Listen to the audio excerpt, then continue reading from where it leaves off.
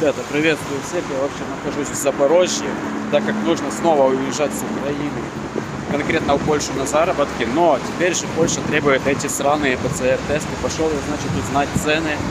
И, в общем-то, даже на автовокзале, где сначала было, где они принимали, да, вот эти ПЦР-тесты делать, я пошел, там уже закрыто. Приехал на ЖД вокзал, э, главный, там принимают, но только тех людей, которые едут только поездом на Польшу. Они тогда сделают за 350 гривен. Э, здесь я сейчас доехал до Анголинка, такая остановка, ну либо сейчас называется остановка базарная, неважно.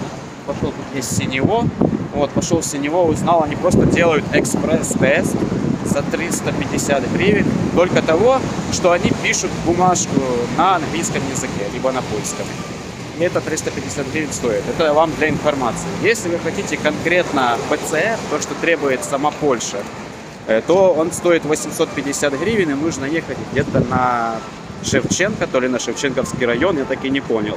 Либо на другую еще клинику, на Мира, э, то там будет где-то 500 плюс гривен, как мне сказали.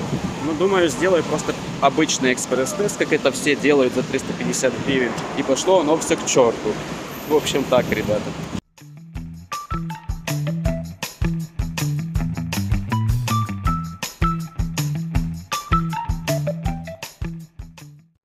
Ну что ж, ребята, снова аэропорт Запорожье. Ну в этот раз в Дубарину, блин. Зима, нахрен. Середина января. Середина января. На улице что-то около минус двух. Уже подтаивает. Но в итоге мне еще ждать до сдачи сумок только мне еще ждать 3 часа. Вот. Но лучше приехать раньше, чем позже, скажем так. Ветер сумасшедший, поэтому что ж, идем греться в аэропорт новенький. Более там есть туалет. Ну и все как обычно. ПЦР-тесты, вот эти все, тест на антиген, все канает, ребята, если вам эта информация полезна. Ну и посмотрим, сколько там людей, кто куда летит. Может кто-то летит на Анталию, а кто-то летит в Польшу с Украины потрачить. Ну вот именно по парковочке, как обычно, парковка вся забита. А это значит, что люди полетели, как обычно. Египет, Турция, Шарм-эль-Шейх. Просто забирают машинку через недельку и едут себе спокойно домой, на квартирку. Ну что ж, а мы поедем на Польшу. Что там нового? Вообще, где все люди? Что ж, ребята, внутри аэропорта на входе нас встречает там табло прибытия. Давайте же посмотрим, откуда самолеты прибывают. Потом посмотрим, когда самолеты отбывают відбуття. Тут вот конкретно на табло на данное время он из Стамбула прибывает, Львов, Катовица, Киев, Киев, Борисполь, Жуляна, Видень, Стамбул, Шарм-эль-Шейх, Киев и Киев, Борисполь.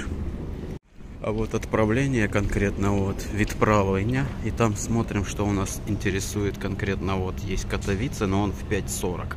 А сейчас, ребята, только сколько там? Почти 2 часа. Час 30.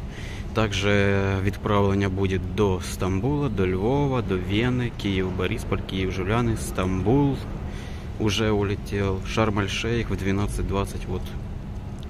А, ага, 15 числа, это завтра Шарм-эль-Шейх будет вылетать, завтра. А вот э, сегодня конкретно только Катовице. И регистрация открыта на Львив. А до Стамбула уже злетів сегодня все. Кстати, обратите внимание, реклама, да, вот сразу стенд такой, комплекс Александр Ривер Парк, житловый комплекс премиум классу. Вот так вот это все будет дело выглядеть. Не знаю, сколько там, конечно, будет стоить вот такие вот жилища, смотрите, домики, да, вот, машинки частные, да. Там он многоэтажки, как бы пятиэтажки, можно так сказать. Зеленая зона, а здесь частная территория. Можно даже с бассейном, можно даже с машинкой. Под гаражик. Ну, вот здесь все, вот все, все, все расписано, прописано, что здесь будет. Конечно, не очень хорошо видно, от стекло отбивает. Но сама суть, что, наверное, не очень-то и дешево будет. Так, сумочку, в общем, сдал, ребята, смотрите. Теперь можно смело идти наверх туда на досмотр там дальше, но еще времени полно, можно побродить. В общем, такой посадочный талон просто. В общем, друзья, прошел все вот эти досмотры, там потом печать. В общем, просто колющее, режущее такое. Здесь алкоголь, free, туалеты. Ну, все как обычно, в принципе, пока не интересно. Там можно что-то перекусить, даже посмотреть. Сейчас посмотрим, осталась ли та, такая специальная водка, которая вообще прям позитив. Ну вот так, если хочешь перекусить, смотри, чипсы, вот такие маленькие, сколько там, ну, 25 грамм, 1 евро в Украине, в Запорожье. А водки той нету, которую я хотел показать, которая вакцина называлась. Куда-то она пропала. Это же прям позитив. Она пропала где-то. Смотрите, ребята, прикол. Такая бутылка даже вот по акции была типа 4 евро за 1 литр. А сейчас 3 евро 20 центов за литр первака. Ну, в общем, 100 гривен за литр. Обратите внимание, ребята, смотрите, даже если взять вот мороша 0,5-2 евро, да, получается 60 гривен. ну, а в магазине-то получается 90. Так что в duty free даже дешевле. Ночная посадка, ребята, на самолет, потому что уже 5.20 где-то вечера, два автобуса нас подвезли. В общем, проходим на посадку. Ребята, поиск своего места это самое то. Вот здесь и приземлимся. Вот 22, у меня 22F возле окошка. Но правда ничего уже не будет видно. Потому что ночной полет вечерней зимой. Опа. И упали. В целом дожидаемся остальных пассажиров, потому что в два автобуса все не влезут. Разогреваются двигатели и вперед.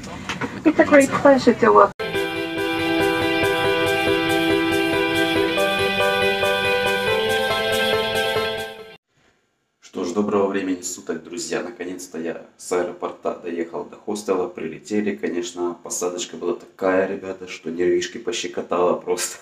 Люди молились, я вам так скажу. Но пилоты молодцы. Сели, было очень тяжко.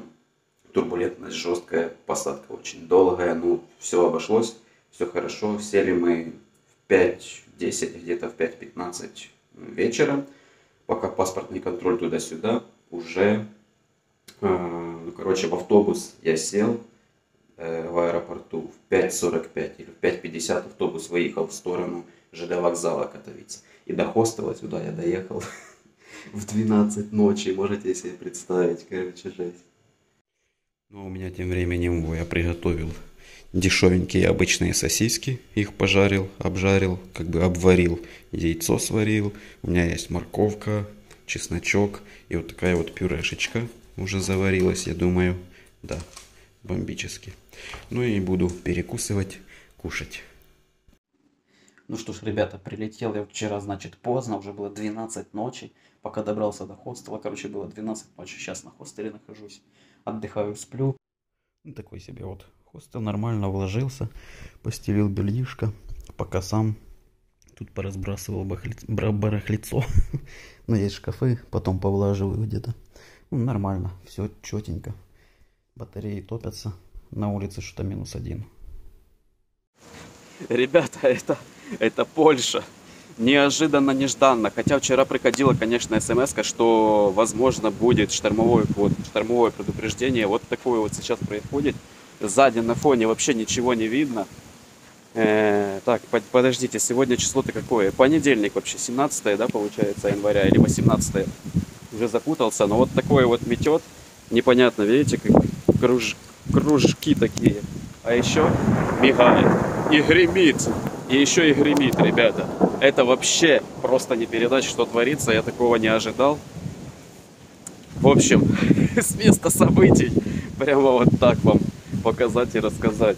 Нахожусь на хостеле на данный момент, пока не на работе, слава богу. Пускай эта погода уже пройдет, наладится все, тогда уже и на работу. Ну вообще, просто эмоции, эмоции переполняют.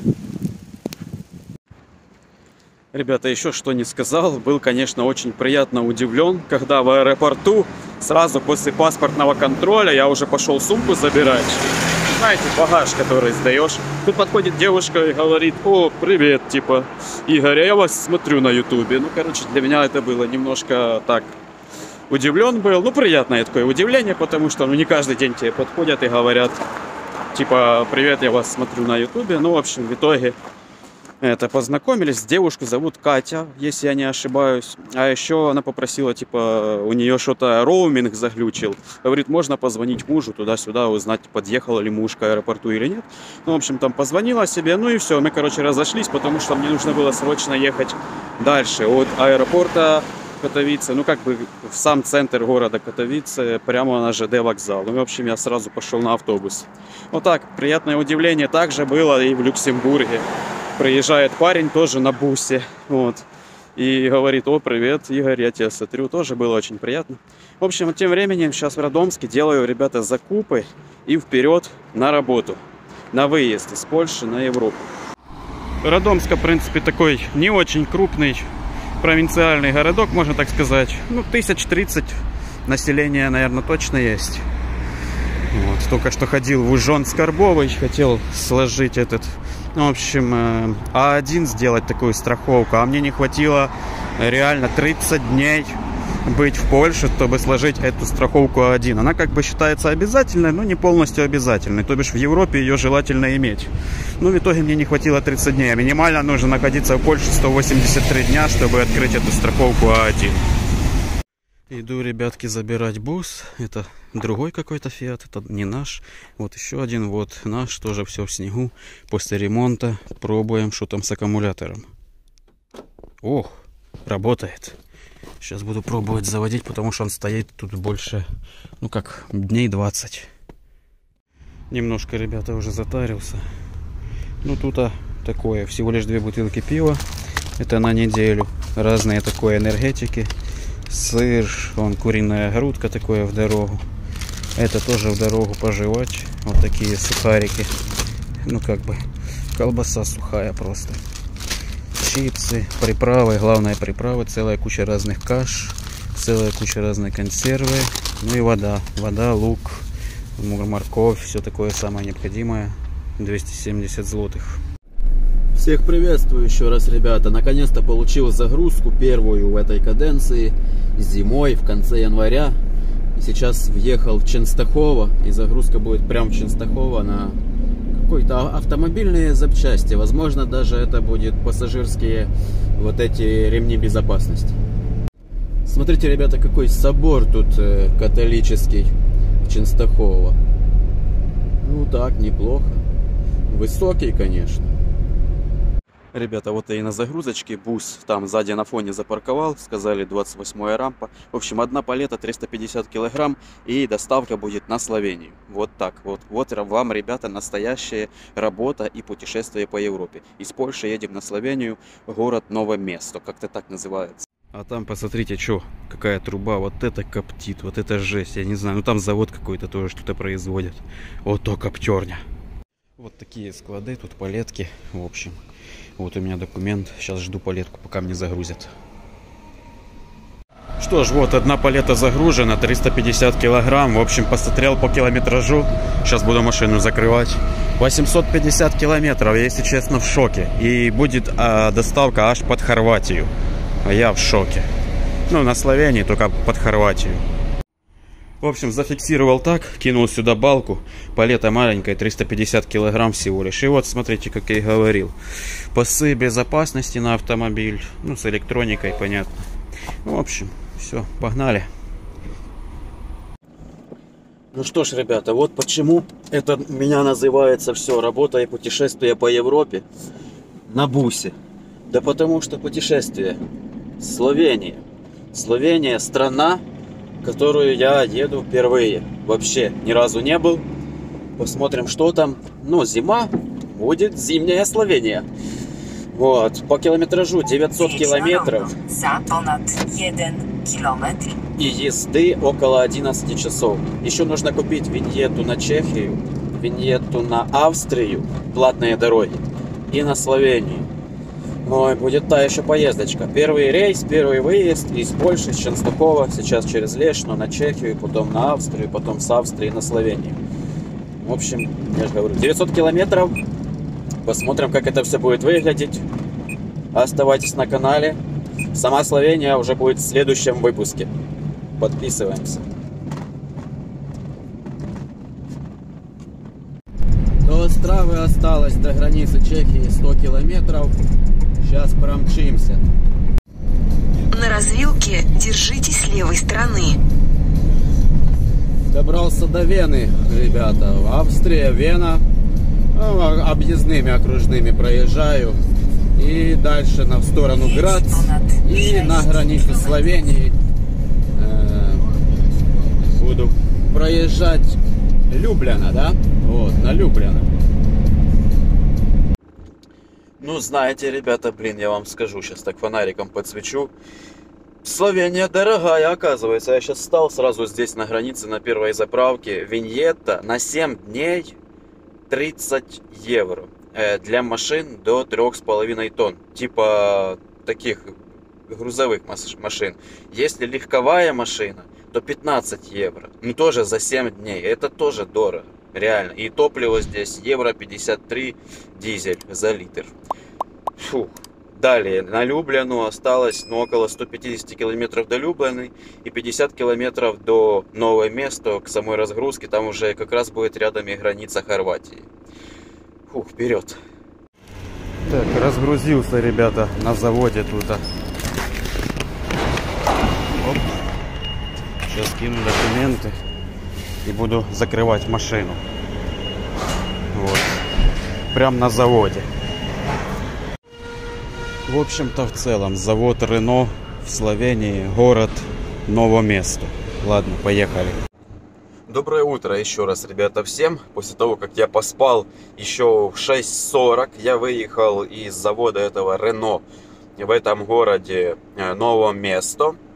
Э, В общем, я поспал еще два с половиной часа, уже раздуплился, отправил все документы, фотографии экспедитору. Направляйтесь на запад. Затем поверните направо. Мне там уже названивали, блин, спедиторы, короче, разбудили меня. Но я нормально поспал, и так поспал до этого 3 часа и еще два с половиной. Ну, в итоге пять с половиной часа с прерывом, ну, поспал. Сейчас перекусываю, еду дальше на очередную загрузку. Это будет, снова еду от города Новое место, через город э, Любляна.